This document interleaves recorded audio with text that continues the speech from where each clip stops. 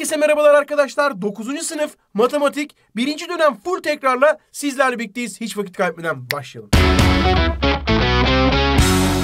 Evet arkadaşlar full tekrarımıza başlamadan önce her zamanki gibi bir Ocak ayı programımıza bakalım. Ve artık programımızda çok güzel bir şey oldu arkadaşlar. 3 gün önce sömestr tatili başladı ve 2 hafta doyasıya tatil yapacak mıyız? Yapmayacağız tabii ki de. Güzel karlar yağıyor. Ülkemiz kar yağışı altında. Çoğu şehrimizde çok güzel kar var. Kar top oynayacağız. Ailemizle, arkadaşlarımızla vakit geçireceğiz. Dinleneceğiz ama tabii ki de boş geçirmeyeceğiz. Tonguç Akademi'nin sizler için hazırladığı full tekrarlarla iki haftamızda yine böyle pasif aktif geçirelim arkadaşlar dedik. Ve bugün söz verdiğimiz gibi matematik birinci dönem full tekrarla başlıyoruz. Biyoloji fizik diye gidiyor. iki haftanı inşallah bunlarla da değerlendirirsin. Ve arkadaşım unutmadan hemen konumuzun başında ne yapalım ödevimizi verelim. Zaten aşama aşama video video ödevlerimizi vermiştik arkadaşım. Şimdi de ne yapacağız? Yine sana ödevini verelim. Sayfa 162'ye kadar bak 162. sayfa sayı problemleri var. Lütfen senden isteğim ne biliyor musun? Zaten çoğunu ödev verdik. Sen tek tek ilmik ilmik böyle sayfaları geçe geçe aa bu sorun boş kalmış niye boş kalmış diye süzgecinden geçir. Yapamadıklarını bir iki kere dene. Sonrasında canım öğretmenim kare kodda seni bekliyor. Orada hemen yapıyorsun. Evet Dinamo kitabımda da arkadaşım yine aynı şekilde konu özetli kitabımda sıfırdan 9'a da konulara bakıyorsun. Burada da hemen ne yapıyorsun arkadaşım? Soru çözmeye başlıyorsun. Sayfa 144'e kadar yine örnek sorularda altında da sana bıraktığımız soruları yapıyorsun. Evet bunları zaten ödev vermiştik ama sen lütfen sayfa sayfa geç. Dönemi bir tekrar et. De ki tamam burası tamamdı. Evet bu soruları hatırlıyorum. Burayı yaptım. Hatırlayamadığın konular varsa, zorlandığın konular varsa lütfen onların videosunu tekrardan izle ve dönemi çok güzel bir şekilde sen de ayrıntılı bir şekilde tekrar et. Ama ben senin için şimdi süper bir tekrar yapacağım. Birinci dönem full tekrarımızda bayağı konular gördük. Ve arkadaşım ÖSYM 9. sınıfı acayip önemsiyor. Nasıl önemsediğini ben sana söyleyeyim mi? Geçen sene TYT'de 40 soru, AYT'de 40 soru vardı. Toplam 80 soru vardı. İnanır mısın? 80 sorunun 37'si 9. sınıftı. 80 sorunun 37'si. Neredeyse %50'si 9. sınıf mantığıydı. O yüzden mantığı derken mantık konusundan bahsetmiyorum. 9. sınıf konularıydı. O yüzden arkadaşım 9. sınıf çok önemli. Lütfen sen de önem göster ve buna özenle çalış. Full tekrarladı. Eksik konularını tamamla arkadaşım. Ve birinci dönemde neler vardı bir bakalım. Birinci konumuz mantıktı. Mantık konusu iki haftamız almıştı. Sonra iki hafta kümelerdi. Ve arkadaşım neredeyse bir dönem boyunca sürecek. İçinde konular konular konular konular olan denklem ve eşitsizlikler vardı. Üç ünite görmüştük. Hatta ve hatta problemlere kadar gelip bırakmıştık. Problemler de bizim en az 2-3 haftamızı alacak ikinci dönem. Vakit kaybetmeyelim. Başlayalım arkadaşlar. Bakın sizin için böyle güzel bir tablo yaptım ama bu tablonun biraz zamanı var. Neden? Çünkü bakın ne var burada? Mantık konusunu hemen bir özetleyelim. Mantık neydi? Doğru ya da yanlış kesin ve kesin hüküm bildiren ifadelerdi. Mesela İstanbul'un, e, Türkiye'nin başkenti İstanbul'dur. Kesinlikle yanlış mı? Evet o zaman bu bir önermedir demiştik. Ve doğru ya da yanlış olması önemli değil. Kesin hüküm bildirecek. Yani kesin yanlış veyahut da kesin doğru diyorsan o önermeydi. Ve önermelerin doğruluk değeri vardı. Doğruysa biz buna denktir diyorduk. Bakın üç çizgiyle gösteriyorduk. Ve yanlışsa da denktir sıfır diyorduk. Denktir bir dersek doğru, sıfır dersek yanlıştı. Önermenin değili vardı. Bir cümleyi tersten okuyorsan, değili dersen mesela İstanbul Türkiye'nin başkentidir dersen o zaman ne diyorduk arkadaşım? Biz ne yapıyorduk orada? Yanlış diyorduk. Peki e, bunun doğrusu değilini alırsak mesela İstanbul Türkiye'nin başkenti değildir dersek işte burada da hemen ne yapıyoruz? Yanlışsa değili doğru oluyordu. Doğruysa da değili yanlış oluyordu demiştik. Ve arkadaşım mantık konusunun en önemli kısmı bileşik önermelerdi. Ve veya ya da ise ancak ve ancak bağlaçları vardı. Bunlarla ilgili çok önemli kısımlar vardı. Tabloyu iyi bilmem lazımdı. Tablomda 1 1 1 0 0 1 0 0'dı. Ve arkadaşım dikkat et. V bağlacında ikisi de aynı anda olmak zorundaydı. Ve bir tane sıfır varsa benim sonucumu sıfır yapıyordu. Tek bir şartım vardı bir olması için. O da ikisinin de aynı anda bir olması. Zaten ne dedik? V için ikisi de şart demiştik. Veya'da ne vardı? Veya'da da bir tane bir olması ne yapıyordu? 1 olması için yeterliydi. Burada nasıl 0? Burada da 1 arkadaşım. Çünkü veya'da da en az bir tane olsa yeterdi. O veya o dediğim için ikisi de aynı anda olabilir. Bir tanesi olsa yeterliydi. Burada da arkadaşım dikkat etmen gereken neydi? Veya ile bir şeyi bağladığın anda cevap sıfırsa ikisi de sıfırdı. Ya da neydi? Ya da ya o ya da o. Yani o gelsin ya da bu gelsin. Ya da bak ya da ikisinden birini kesinlikle ikisinden birini istiyorum. Başka da şartım yoktu. O yüzden de arkadaşım 1-0-0-1 birdi ama ikisi gelirse olmaz. İkisi de gelmezse yine olmazdı. Ya o ya da o gelecekti. Başka şartı yoktu. İse'ye geldiğimde arkadaşım. İse neydi? İse böyle tek yönlü e, tek yönlü koşullu önermeydi arkadaşım. Ve de burada ne vardı? İse de arkadaşım çok güzel bir kural vardı. 100 kuralı vardı. 100 kuralı 1 0 0 vardı. Gerisi 1'di. Bak yüzdeki 0 sağlıyordu. Gerisi 1'di arkadaşım unutmuyorsun. Ancak ve ancak içinde dünyanın koşulunu sunmuştuk. Ne demiştik? Dünyamızda ancak iyiler iyilerle, kötüler kötülerle arkadaşlık eder demiştik. 1 1 1'di ve de 0 0 1'di arkadaşım. İyiler iyilerle doğru söyledik. Kötüler kötülerle doğru söyledik. Başka türlü arkadaşlık olmazdı. İyiler kötülerle olmaz, kötüler iyilerle olmazdı demiştik ve bağlaçlarımızı bu yönlü bitirmiştik. Ve arkadaşım geri geldiğimde çok önemli bir kural vardı. Demorgan ne yapıyordu? V'yi veya'yı tamamen tersi yapıyordu. Hatta ve hatta aradaki işaret veya ise V yapıyordu. V ise veya yapıyordu. Ve çift yönlü koşulu önermedi. Adı üzerinde ne yapıyorduk? İse şey ancak ve ancak iseli şekilde yazıyorduk. Çünkü ise tek yönlüydü. Bakın burada çift yön var. P Q'ya, Q da P'ye gidiyor. Tabii ki de biz bunu ters okla gösteremiyoruz. O zaman iseyi P ise Q ve P, Q ise P şeklinde iki türlü yazabiliyorduk. Ve de unutmayın arkadaşım burada önemli bir kısımda şu arkadaşım unutma. Bir de bir de bakın P ise Q'nun neydi? Birincinin değilini alıyordun veya yapıyordun. ikinciyi aynen alıyordun. Bu da yine nedir? İse'nin veya'lı yazılışıdır. Bunu da unutmuyorsun aklında. Bir de dağılma özelliği vardı. Bakın burayı kopyalıyorduk. Hop buna hop buna yapıştırıyorduk. Bakın P ve Q Sonrasında da ne var arkadaşım? Hatta burayı e, şurayı Q yapıp burayı R yapsak güzel olur. Bakın ne yaptık? P ve Q P ve R hatta şurası da P ve R olacak. Tamamdır süper. Sonrasında da arkadaşım arada ne varsa onu koyuyorduk buraya. Bunu da bu şekilde bitiriyorduk. Ufak bir hata olmuş. Onu bir kere daha gösterelim. P ve P ve Q veya R'yi dağıtma şeklinde de yapıyorduk. Ne yapıyorduk? Bunu kopyalayıp hemen yapıştırıyorduk buraya. Hatta ve hatta şurayı da düzeltirsek iyi olur. Arkadaşım burası çok önemliydi. Ufak bir hata oldu. Orayı da toparladık. Şimdi bak bir de ne vardı arkadaşım? P ise Q'nun neyi vardı? Karşıtı. Karşıt neydi? Karşıya attı. Bunu halletmiş olduk. Bir de arkadaşım ne vardı? Tersi vardı. Tersi. İkisinin de tersini alıyorduk. Bir de karşıt tersi vardı. Hem karşıya atıp hem de tersini alıyorduk. Niceleyicilerimiz vardı. Onlar da her ve bazıydı. Ters A ile ters E'ydi. Ve bunların da değilleri neydi? Birbirleriydi arkadaşım. Değillerini de almayı unutmuyorduk arkadaşım. Buralarda bu şekildeydi. Bunları hallettikten sonra çok güzel bir şekilde artık kümelere geçeriz. Kümelerde de senin için süper bir tablom var ama bu da birazdan gelecek. Neydi arkadaşım? İyi tanımlanmış nesneler toplumuna biz küme diyorduk. Küme gösterimleri üç taneydi. Liste yöntemi A kümesi süslü parantez içine virgüllerle belirttiğim kümeye, küme gösterimine ben liste yöntemi diyordum. Venn şeması neydi? Venn şeması da kapalı eğriler içinde gösterdiğimiz yuvarlaklar, üçgenler içinde elemanları noktalar şeklinde gösterdiğimizde Venn şeması diyorduk. Ama burada çok çok önemli bir şey vardı.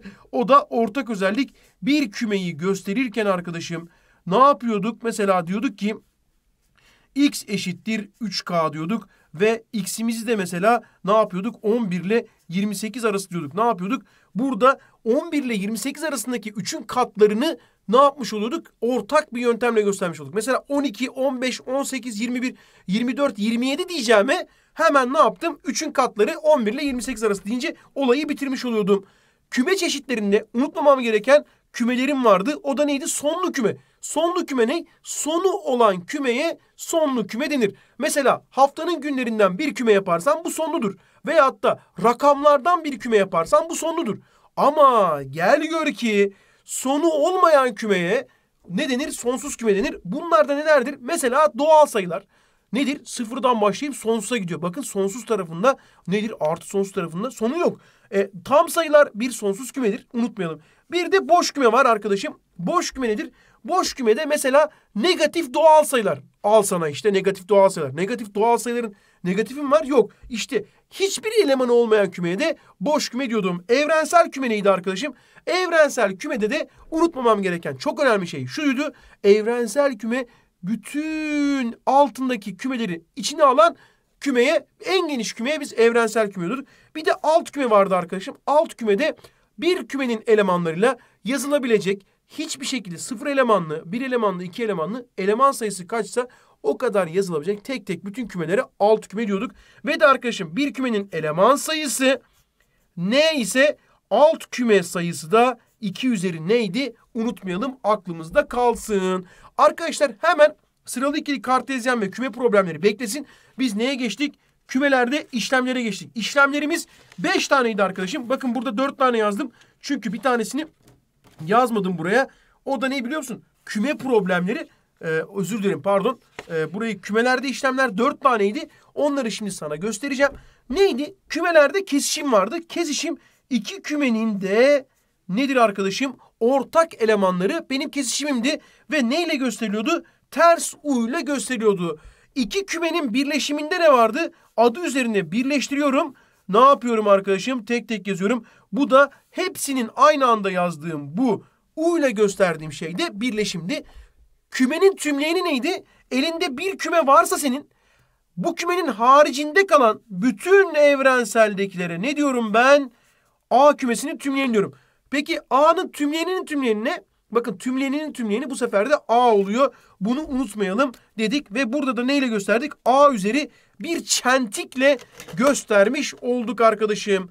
Ve bunu da söyledikten sonra iki kümenin farkı vardı. Fark neydi? Adı üzerinde A kümesinden B'yi çıkartırsan bak öz A demiştik. Ve bunu A fark B bir şeyle e, tire işaretiyle çıkarma işaretiyle göstermiştik. Ve de arkadaşım ne vardı? B fark A vardı. O da öz B demiştik. O da B eksi A şeklinde gösteriliyordu. Küme problemleri birazdan gelecek. Kümelerde işlemlerimiz bunlardı. Aklımızda kalsın. Çok önemliydi ve kesişim çok önemliydi. Aklımda kalsın. Geldik sıralı ikiliye arkadaşım. Sıralı ikiliye gelmeden önce şurada önemli bir şeyler vardı. Onları da söyleyelim.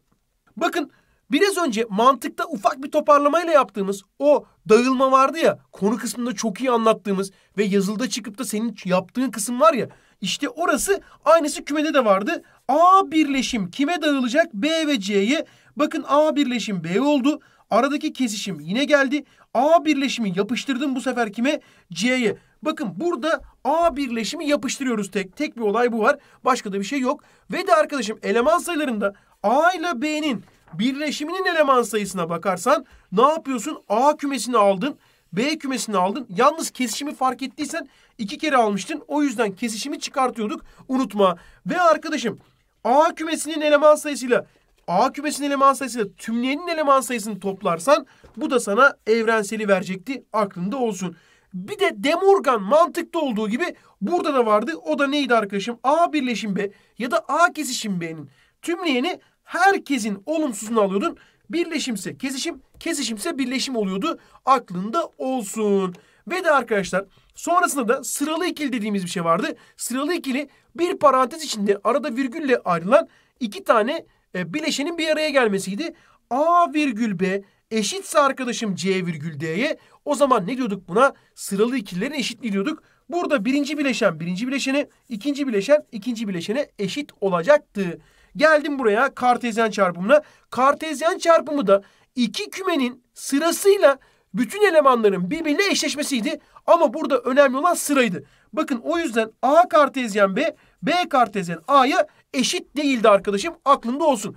Ve eşit değildi ama burada bir şey eşitti. O da A kartezyen B ile B kartezyen A'nın eleman sayılarının birbirine eşitliğiydi. Neden? Çünkü her elemanı birbiriyle çarptığıma göre ha tersten çarpmışım ha düzden A çarpı B, B çarpı A fark etmezdi. Ama ne vardı burada? Eleman sayılarının çarpımı olduğu için. Çünkü çarpmada yer değiştirme özelliği vardı. Kartezyende bakın sıralık yine önemli olduğu için sıra önemli olduğu için birbirine eşit değildi ama eleman sayıları birbirine eşitti. Ve son olarak arkadaşım şunu söyleyelim. küme problemlerinde hemen sana adam Almanca bilenler diyorsa A ile X'ten bahsediyor. Fransızca bilenler diyorsa X ile F'den bahsediyor. İki dili de bilmeyen diyorsa burada bahs bundan bahsediyordu. İki dili bilen var diyorsa onlar da bunlar da arkadaşım unutma. Ve de evrensel kümede hiçbir dil bilmeyen de olabilirdi. Ve küme problemlerinde acayip önemli bir şey varsa ilk önce kesişimi yazıyorsun dedim ve burayı da bitirmiş oldum. Arkadaşım süper bir şekilde kümeyi de tekrar etmiş olduk. Artık denklem ve eşitsizliklere geçebiliriz.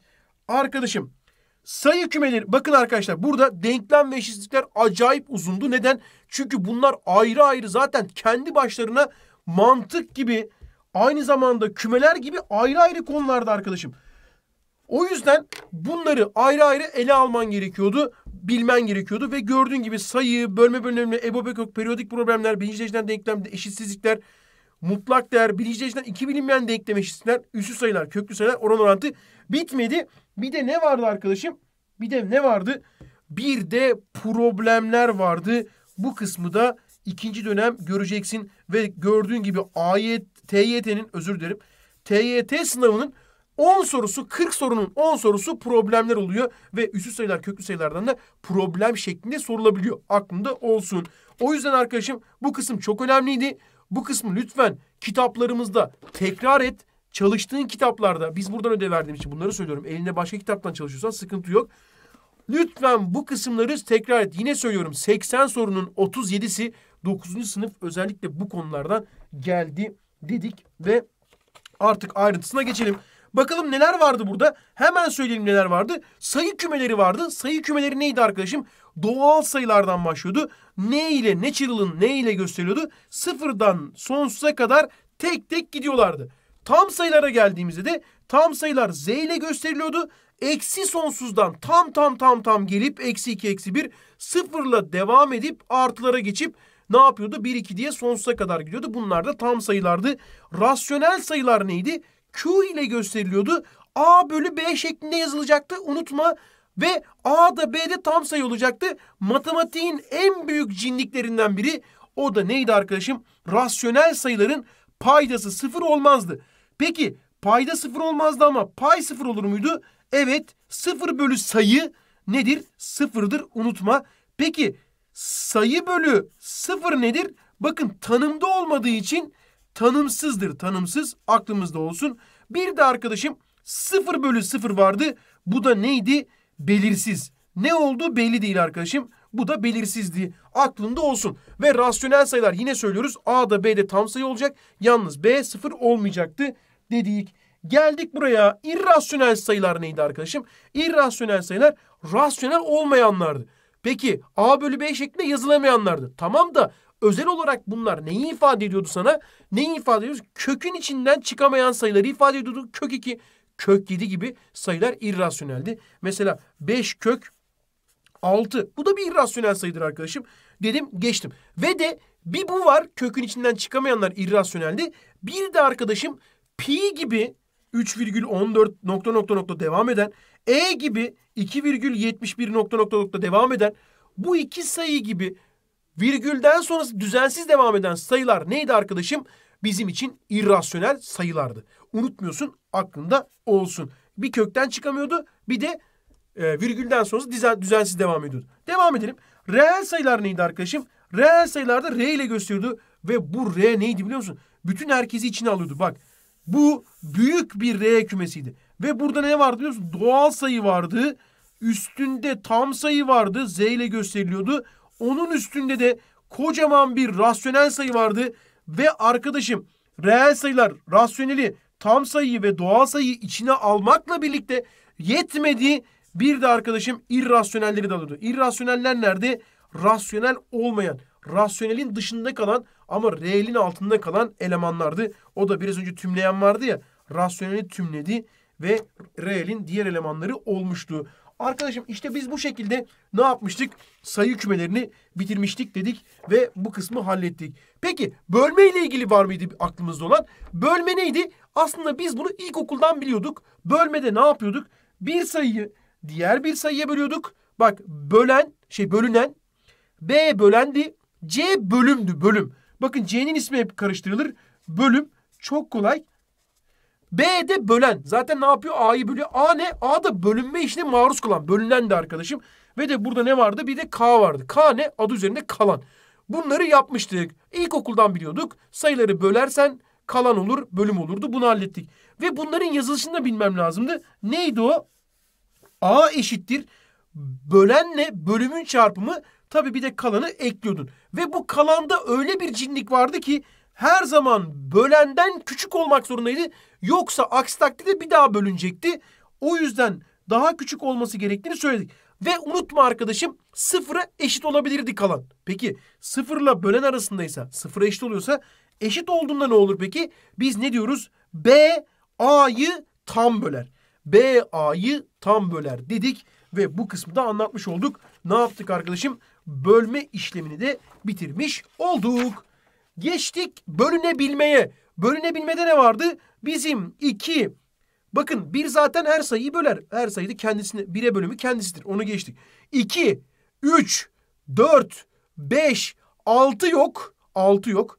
7 yok. 8 9 10 11. İşte buradaki 6 ile 7 haricindeki bütün hepsinin bir kuralı vardı bölünebilmede. Neydi onlar?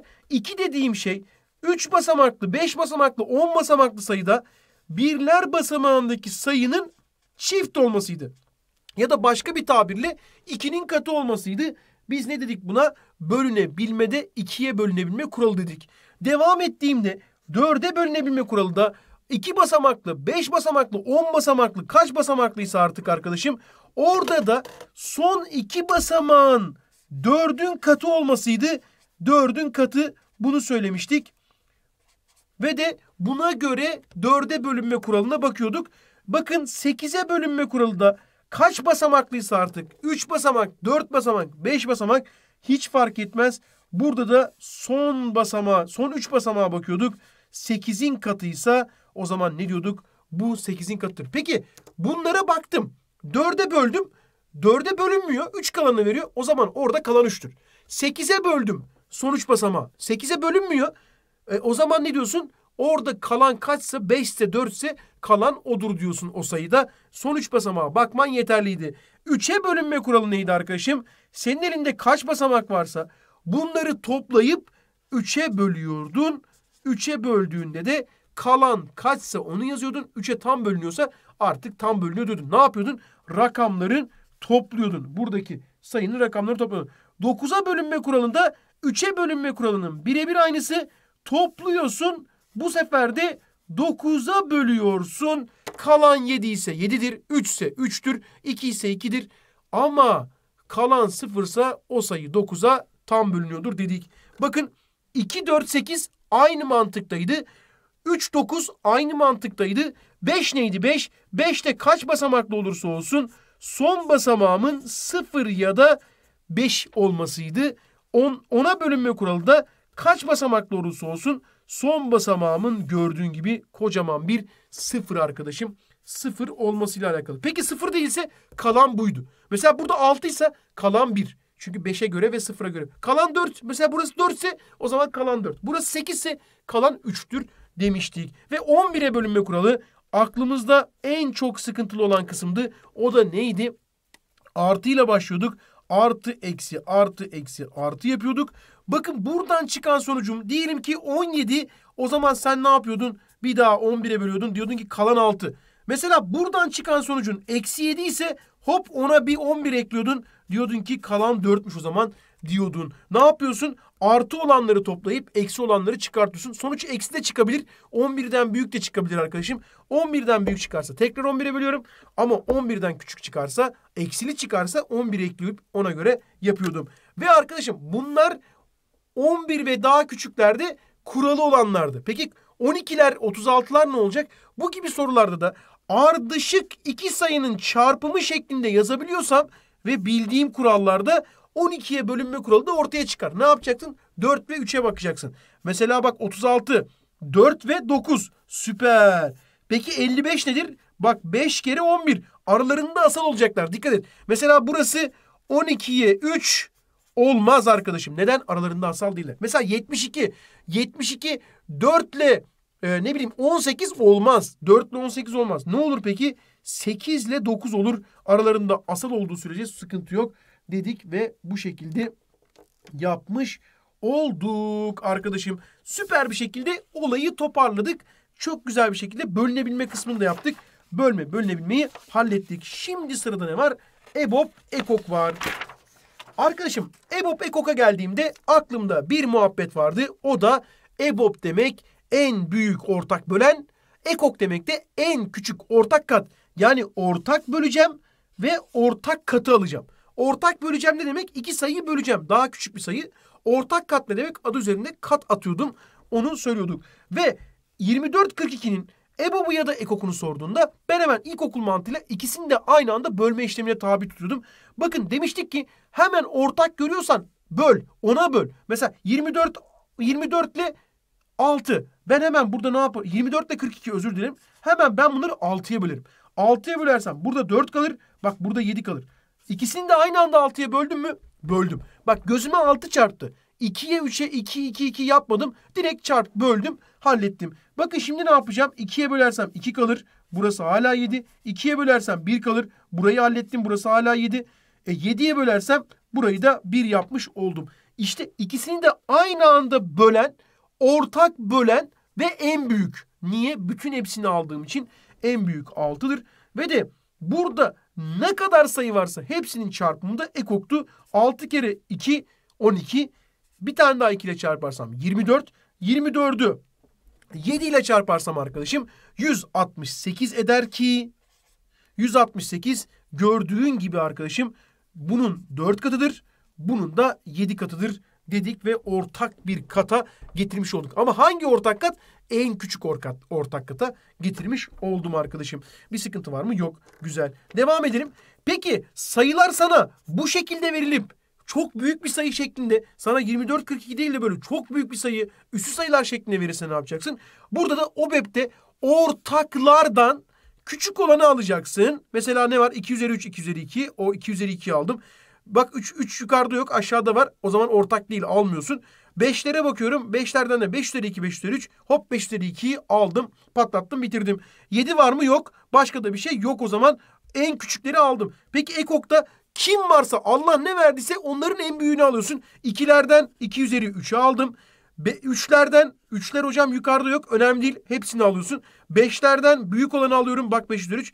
Yedilerden de 7 üzeri 1'i aldım ve bitirdim. Bakın ikileri aldım, üçleri aldım, beşleri aldım ve üstleri en büyükleri aldım. Bu şekilde olursa da bunu yapıyorduk dedik ve bitirmiş olduk. Ama neyi bitirdik? EBOB, EKOK'un mantığını bitirdik. Bir de kuralları vardı. Kuralları neydi arkadaşım? Aralarında asal sayılarsa X ve Y o zaman EBOB'ları birdi arkadaşım. Çünkü ortak bölenleri sadece birdir. Zaten aralarında asal ne demekti? 1 ve 1'den 1 ve eksi 1'den başka ortak bölenleri olmayan sayılara ne denirdi? Aralarında asal sayılar denirdi. Ve o zaman x ile y'nin EBOB'u 1 ise o zaman aralarında asaldır. Aralarında asalsa EBOB'u 1'dir dedik geçtik. EBOB'la EKOK'un çarpımı her zaman iki sayının çarpımıydı. Çok önemli bir muhabbetti. Sorularda karşıma geliyordu. Aklımda olsun. EBOB'la EKOK her zaman say- küçük sayıdan küçüktü EBOB ya da eşitti. Ve ekokta büyük sayıdan ya büyüktü ya da büyük sayı eşitti. O da aklımda kalacak. Bu arada EBOB 1 ise arkadaşım nedir? EBOB 1 ise yani aralarında asal sayılar nedir? Ekoku iki sayının çarpımıdır. Bu nerede karşıma geliyor genellikle? Payda eşitlemede çok güzel bir şekilde yapmış oluruz. Mesela aralarında asal mı? Evet o zaman bunları sen çarpımında birleştirebilirsin diye düşünüyorsun ekoklarını hemen ne yapıyorsun? Ekokları iki sayının çarpımıdır diyorsun. Ve arkadaşım problemlerde veya da başka böyle matematiksel işlemsel sorularda EBOB sana A diye verildiyse sen, o zaman, sen, sen o zaman hemen ne biliyorsun? O zaman X dediğim şey A çarpı M'dir.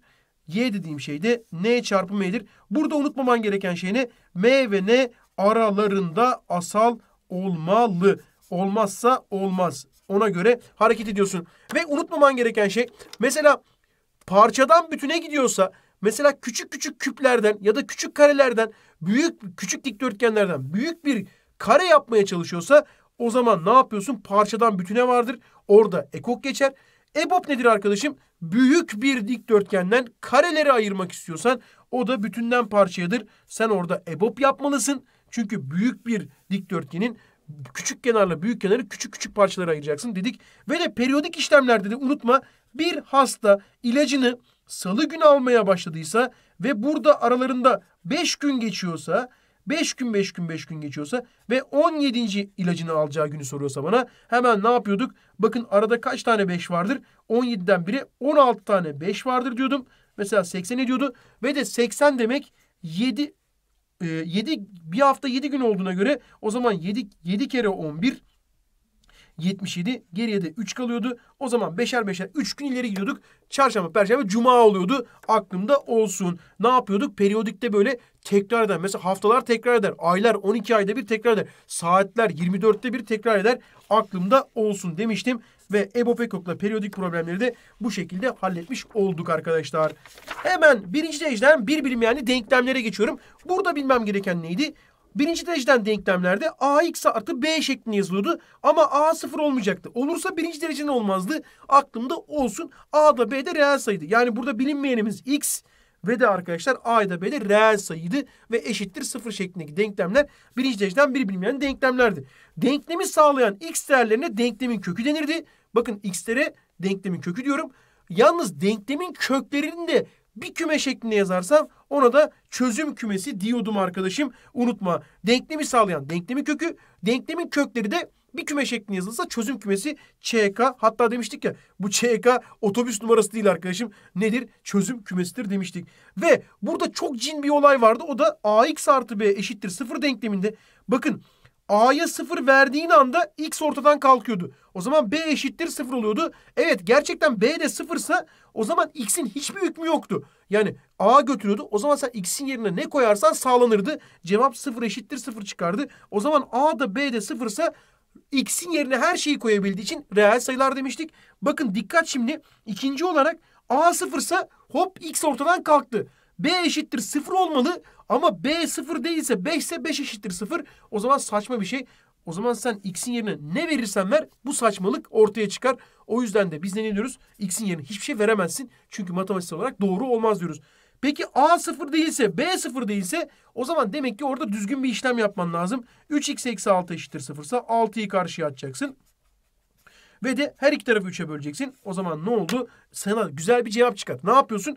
B'yi karşıya atıyorsun. A'ya bölüyorsun. O zaman çözüm kümen bir elemanlı olmuş oluyor dedim. Ve bu kısmında geçtim. O zaman ne yapmış oldum arkadaşım? Birinci dereceden denklemleri de bitirmiş oldum. Geldim birinci dereceden birbirlerine eşitsizliklere. Burada da bilmen gereken neydi? X küçüktür Y ise her iki tarafı aynı sayıyla toplayıp çıkartsan işaretin değişmezdi. Ve iki tarafı da pozitif bir sayıyla çarparsan bakın sıfırdan büyük. Yine işaretin değişmezdi. Ama gel gör ki her iki tarafı da negatif bir sayıyla çarparsan işaretin yön değiştirirdi. Aklında olsun bu önemli bir kuraldı. Ve de devam ettiğimizde de iki tane eşitliğin her iki tarafında aynı sayıya pozitif sayıya bölersen işaret yön değiştirmezdi. Ama her iki tarafı negatif sayıya bölersen ne olurdu? İşaret yön değiştirecekti arkadaşım. Aklımda olsun. Ve de arkadaşlar x y'den küçükse y de z'den küçükse e haliyle tabii ki de x'imiz ne olması gerekiyordu? z'den küçük olması gerekiyordu. Bunu da aklımdan çıkarmayayım. Kurallarım bitmiş miydi? Bitmemişti. Ne vardı arkadaşım?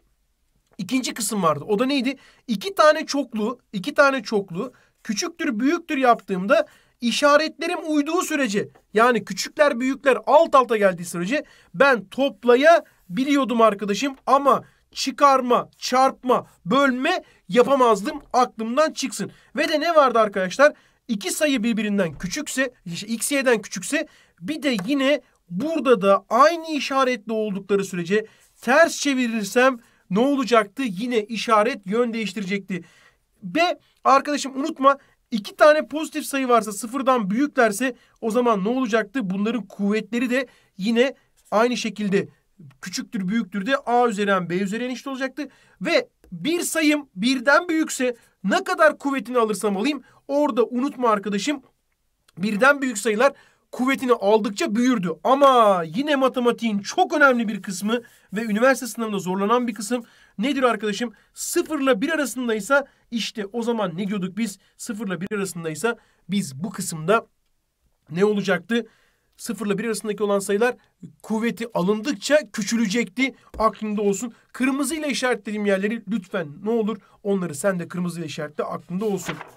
Ve de arkadaşlar ne yaptık? Burayı da bitirdik. Nereyi? Birinci dereceden eşitsizliği bitirdik. Geriye kaldı mutlak değer, üssü sayı, köklü sayı oran orantı. Bir sayının başlangıç noktasının uzaklığı yani x'in başlangıç noktasının uzaklığı neydi? Mutlak değer x'ti. Yani 3'ün e, başlangıç noktasının mutlak değer 3'tü. Eksi 3'ün ki o da 3'tü. O zaman mutlak değer x mutlak değer eksi x eşitti. Bir sayının başka bir sayıya uzaklığı a'nın b'ye uzaklığı bakın a eksi b'ydi mutlak değer içinde ya da b eksi a. Yani a'nın b'ye b'nin a'ya uzaklıkları eşitti. Biraz önce söylediğimizin aynısı a eksi b b eksi a'ya eşitti. Unutma bir sayının başka sayıya uzaklığında bu şekilde yapıyorsun aklında olsun. Ve arkadaşım mutlak değerde içerisi yani iki çubuğun arası Sıfırdan büyükse kesinlikle x diye dışarı çıkardı. Sıfırdan küçükse çubuğun arası kesinlikle önüne eksi alarak çıkardı. Aklında olsun. Ve mutlak değer iki çubuk artı içindeki her zaman sıfıra eşit veya da sıfırdan büyüktü. Çünkü mutlak değer neydi? Uzunluktu, uzaklıktı. O yüzden de sıfırdan büyük veya da eşit olmak zorundaydı. İki tane mutlak değer toplamı sıfırsa o zaman bunlar kesinlikle ayrı ayrı sıfırlardı demiştik. Ve iki mutlak değerin çarpımı iki tane mutlak değerin çarpımı bir araya gelip bir mutlak değer yazılabilirdi. İki tane mutlak değerin bölümü bir araya gelip tek mutlak değerde yazılabilirdi. Bir sayının mutlak değerinin üssü aynı zamanda üssünün mutlak değerine eşitti. Tam tersi de geçerli. Ve de arkadaşım unutma bir mutlak değer içinde bir katsayıyla çarpıldığında aynı şekilde ayrılıyordu. E tabii ki de eksi ise artı olacak. Mesela eksi 3x ne olacaktı? 3 mutlak değer x olacaktı. Ve de burası neydi? 4 mutlak değer y olacaktı. 4 dışarıya aynen çıkardı. Bunu da unutmuyorum. Evet arkadaşım mutlak değerli denklemlere geldiğimde denklemlerde ne vardı? A sıfırdan büyükse hemen ne yapıyordun? X eşittir A diyordun ya da x eşittir eksi a diyordun aklında olsun. Sıfıra eşitse x eşittir direkt a diyordun yani x eşittir sıfır oluyordu. Sıfırdan küçükse ne diyorduk? Çözüm kümesi boş kümedir diyorduk. Neden? Çünkü hiçbir mutlak değer sıfırdan küçük olamazdı. Hemen geldiğimde iki mutlak değer birbirine eşitse yani diyorduk ki a b'ye eşittir ya da a eksi b eşittir. Yani ya eksilisi ya da birbirlerine eşitlerdir diyorduk. Ve de arkadaşlar elma mantığından a mutlak değer x b mutlak değer x yaparsan da bunları ortak paranteze alacaktın. Unutma elma muhabbetini unutma aklında olsun. Üst sayılarda köklü sayılarda da vardı aklında olsun. Mutlak değerde eşitsizliklere geldiğimde de bir tane küçük varsa o zaman ne yapıyorduk? Eksi ile artılısı arasındaydı. Büyük varsa da ya gerçekten büyüktü ya da eksilisinden küçüktü. Bakın arkadaşlar ne olacaktı? Eksilisinden küçük olacaktı. Aralıktaysa o zaman bu da ya gerçekten o aralıktaydı ya da neydi arkadaşım? Eksilisinin aralığındaydı. Unutma eksilisi deyince tabii ki de B başa geçecekti. Aklında olsun. Ve buraya geldiğimde arkadaşım ne vardı? Burada da bir mutlak değer sıfırdan küçükse çözüm kümesi yine boş kümeydi arkadaşım. Çünkü sıfırdan küçük mutlak değer olmazdı. Sıfırdan küçük mutlak değer eşitse o zaman sadece sıfır olabilirdi. Aklımda olsun dedim ve bu kısmı da bitirdim. Mutlak değerde tamam arkadaşlar burayı da halletmiş olduk. Denklem ve eşitsizliklerde unutma yok etme metodu vardı. Ne yapıyorduk orada?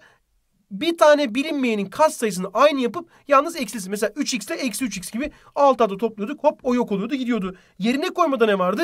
İki tanesinden birini çekiyorduk. Diğer denklemde yerine koyuyorduk. Grafik çizme yöntemini tercih etmiyorduk ama orada da iki grafik çizersek de bunlar birbirlerini değdikleri nokta çözüm kümesiydi. Peki eşitsizlik çözüm yöntemleri neler vardı? Orada da ne yapıyorduk arkadaşım? Eşitsizlikleri denklem gibi yapıyorduk. Yani eşittir koyuyorduk. Ne yapıyorduk? Eşitlik varsa grafikte çizerken düz çizgi yapıyorduk. Eşitlik yoksa kesik kesik yapıyorduk. Ve basit bir nokta veriyorduk grafiği çizdikten sonra.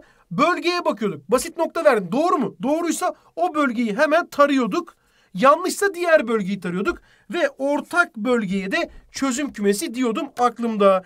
Ve arkadaşlar denklem sistemi verirse sana bu denklem sisteminde de ne yapıyorsun arkadaşım? Hemen kas sayıların oranına bakıyorsun. A ile B'nin C'nin katsayıları oranlıysa bunlar aynı doğrulardı, çakışıklardı ve çakışık olan doğrularda sonsuz eleman vardı. A'lar B'ler birbirine eşit ama C'ler eşit değilse arkadaşım orada da paralellerdi. Bunların da kesişimi olmadığı için boş kümeydi. A'lar B'ler birbirine eşit değilse O zaman ne oluyordu? Biri Anya'ya biri Konya'ya bakıyordu ve de orada ne olacaktı arkadaşım? Bir noktada kesişeceklerdi. O da bir nokta XY şeklinde gösteriliyordu. Ve arkadaşım gördüğün gibi denklem ve eşitsizliği bitirdik. Üstü sayılarda ne vardı? Üstü sayılar bir sayının en defa çarpılması a üzeri n'di. Bakın bir sayının sıfırıncı kuvveti 1'di. Yalnız ne olmaması gerekiyordu? Taban sıfır olmayacaktı. Sıfırın a'nıncı kuvveti sıfırdı. Yalnız taban özür dilerim bu sefer üst sıfır olmayacaktı. Ve birin bütün kuvvetleri birdi. Peki sıfır bölü sıfır, sıfır üzeri sıfır neydi? Yine belirsizlikler ülkesinin elemanıydı. Belirsizdi. Çarpmada üstü sayılarda tabanlarım aynıysa üstler toplanırdı çarpmada. Tabanlar değil üstler aynıysa aynı ortak üsse alınacaktı. Bölmede de birebir aynısıydı. Bölmede de tabanları aynıysa üstler çıkarılacaktı. Ama tabanlar değil üstler aynıysa ortak üsse alınacaktı. Ve de üstü sayılarda eksinin anlamı sadece ters döndürmekti. Süper. Ve de arkadaşım burada unutma eksili bir şeyin çift kuvveti parantez çift kuvveti eksiyi yutuyordu. Ama eksili bir şeyin e, şuraya artı bir yazalım arkadaşlar. Tek kuvveti, tek kuvveti ne olacaktı arkadaşım? Tek kuvvette dışarıya kusuyordu. Unutma aklında olsun. Mesela eksi 3'ün beşinci kuvveti nedir? Eksi 3 üzeri 5'tir. Ne yaptı? Düş, dışarıya kusmuş oldu. Ve de arkadaşlar üstün üstü çarpmaydı. O zaman n çarpı m'ydi. Buradakine bakarsak bu da m çarpı neydi? O zaman bunlar birbirine eşitti. Demek ki üstün üstü çarpmaydı. Demek ki üstün üstünde üstler yer değiştirirse de bir sıkıntı olmazdı. Aklımda olsun. Yine üstü sayılarda bilmem gereken iki tane çokluğun üstleri tabanlar aynıysa üstleri aynı olmak zorundaydı. Ve şöyle bir sistem verdiğinde A'lar B'ler alt alta geldiğinde üstlerin oranı birbirine eşitti. Bakın bu sorularda geliyordu test kitaplarında aklımda olsun. Ve de elma muhabbeti mutlak değerde olduğu gibi burada da var. Ve de mutlak değerde olduğu gibi A üzeri iken B üzeri ikense o zaman bunlar ya birbirine eşittir ya da eksisine eşittir. Çünkü niye eksiyi yutuyordu ama kuvvetler tekse tek bir yöntemim vardı. O da sayıların birbirine eşitliğiydi. Geldim baktım buraya x üzeri n 1'e eşitse arkadaşım ya x 1'dir ya yani taban birdir. Başka şartı yoktur. Ya üst sıfırdır. Orada da bir şartım var. O da ne? Taban sıfır olmayacaktı. Bu aklında olsun. Ya da taban eksi birdir. Ama bu sefer de üssümün çift olması gerekiyordu. Aklımda olsun. Üssü sayılarda da diyeceklerimiz bu kadardı. Gel bakalım köklü sayılara. Köklü sayılarda arkadaşım ne vardı? Senin derecen bakın derecen çiftse içerisi pozitif veyahut da sıfır olmalıydı. Ama derecen tekse içerisi istediğin sayı olabilirdi. Aklında olsun. Ve de köklerde bakın üstü sayı formatında yazabiliyorduk. Üst üstse kökün derecesi 6'a gelebiliyordu. Üstü sayı şeklinde.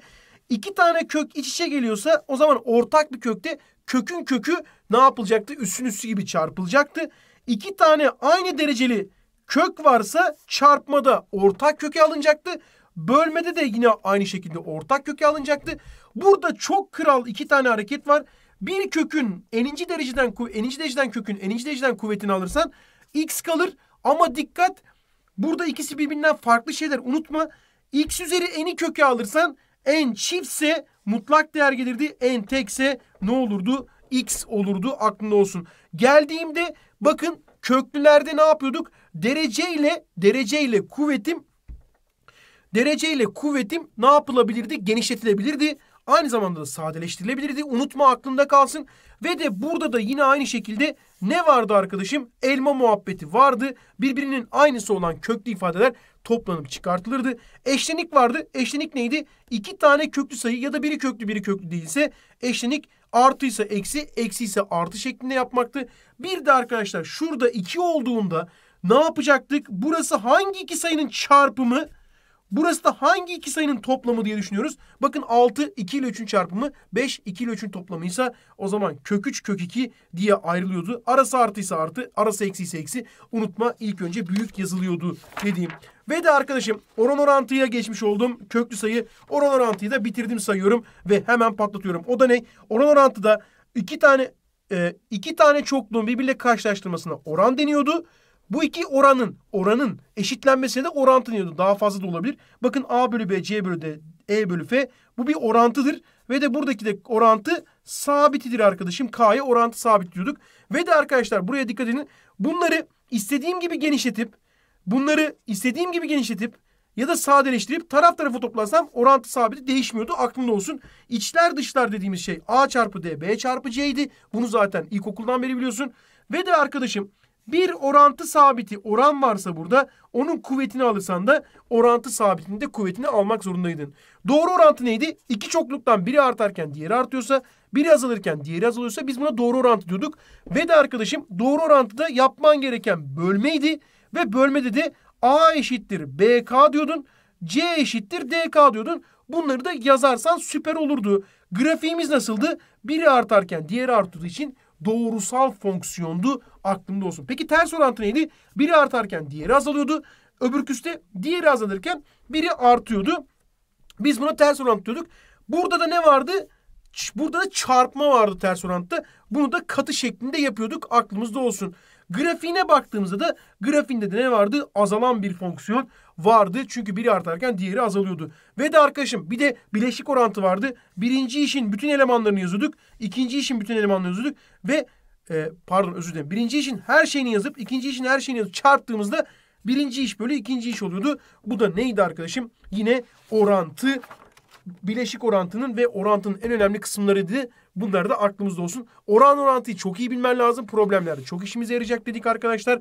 Ve bu şekilde bitirmiş olduk. Ve arkadaşım birinci dönemi çok güzel bir şekilde tekrar ettik. Çok süper bir şekilde tekrar etmiş olduk. Lütfen sen de kitaplardan eksiklerine bak çok büyük eksiğin varsa lütfen o konu tekrar videosunu izle. Hemen hızlı bir şekilde izle. Sorularını tamamla. Bütün sorularına tek tek bak dedim. Ve dönemi de artık resmi olarak bitirdim. Matematik adına her şey bitti. Ben çok mutluyum. Sizleri tanıdım. Sizler de inşallah burada olduğunuz için mutlusunuzdur dedim. Artık sözü fazla uzatmayayım.